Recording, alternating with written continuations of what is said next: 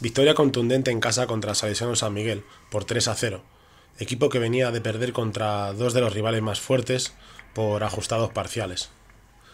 Teníamos las bajas de dos jugadores que, de los que más venían jugando, pero no se notaron en ningún momento. Hicimos un muy buen primer set, con mucha intensidad y con bastantes variantes en ataque, y no dejando meterse nunca en el partido al equipo rival. Terminamos ganando por 25-12. El segundo set fue muy parecido al primero, con algunos fallos tontos, pero muy bien resuelto por 25 a 17.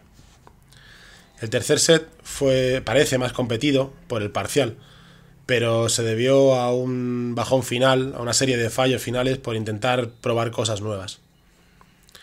Quisiera destacar el partido tanto de Buba, que venía tocado, como de nuestro colocador Quique, y también de David Bernal, una vez más nuestro jugador menos experimentado, pero que hizo un muy buen partido.